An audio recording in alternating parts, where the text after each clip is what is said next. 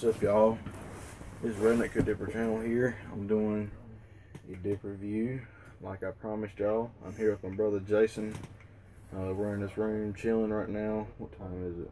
902. It's about it's nine o'clock. Um, and I remember on the video previously that I told y'all that um, I was gonna do another dip review on some grizzly mint. Well, here we go. It is incorrect. See, so I'm gonna be cracking that today. Drinking some good old Mountain Dew. Mitten Dew. Mitten Dew, as you say.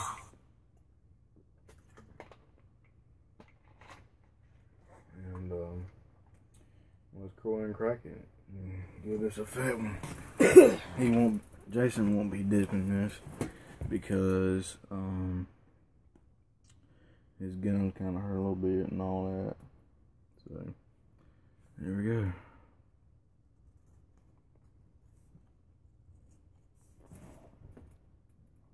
I don't know what the fuck he's doing. It's an orgasmic sound. That's what Outlaw says.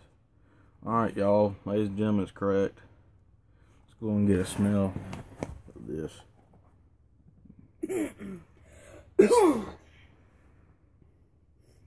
I'll tell you one thing. I know two things. It's pretty dry, but it's full to the brim. Check it out. I ain't even packed it. Let me see. That is not very moist. I know. well, let me shut up and do a deeper review. I'm sorry, I'm real ejectable Mountain Dew. Pretty hard to pinch with this full full to the brim. You putting that much in. That good enough? Oh, yeah. Alright, here we go.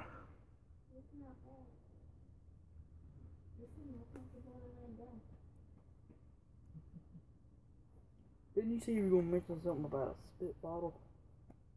That you don't have to have a mud jug to be a tipper. Yeah, that's something I want to talk to y'all about too.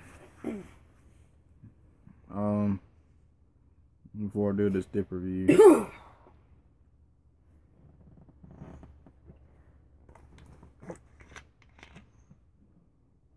see, I'm not trying to hate on Outlaw,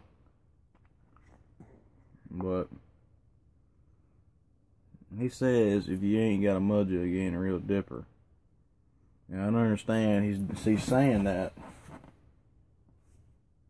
because he's trying to advertise for mud jug and get people to buy them. Well, my theory is mud jugs are really hard to clean, and I really think that they're really pieces of shit. You know. I know they don't spill. I know they don't me and all that, but why the hell use them when you can get a bottle from a store that's way cheaper than a mud jug and fill it up and then throw it away? You know. All right, now I got that out of the way. I'll do this review. Uh, packability, it packs okay. I give it about seven. Um, it pack, yeah, I mean it packs all right. I mean you might get some flutters. I don't have flutters right now, but yeah.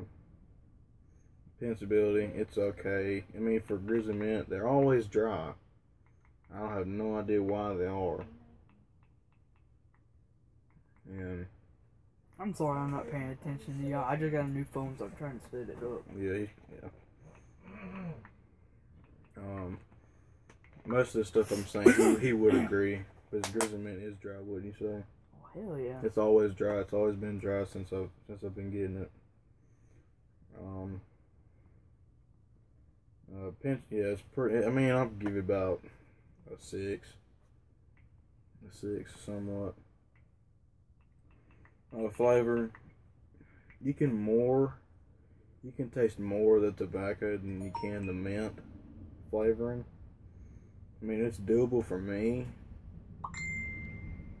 It's doable for me, but it's really personal. Personally, not my favorite. Now I know some baseball players that dip this, and I mean I don't know how I don't I just don't know how they do it. Maybe it don't generate a lot of juice or something, and it to spill on the field. I don't know.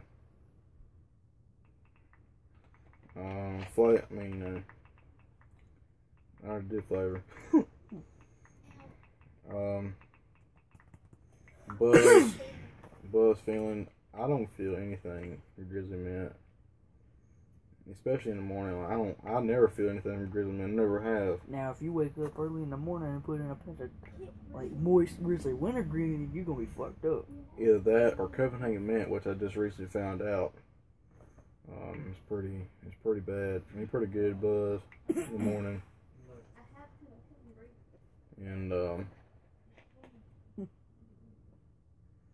And then aftertaste, it's a really shitty aftertaste to be honest with y'all guys.